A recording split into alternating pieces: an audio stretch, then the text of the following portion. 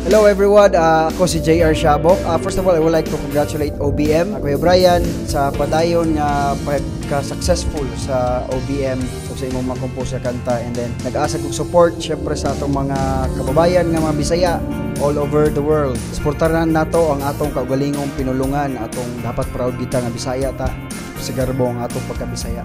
So, nangay ko sa inyong padayon nga suporta o mas bugat pa nga suporta. Again, ako si JR Shabok. Dagang salamat niyo tala. OBM, congratulations. Ikaw ang isa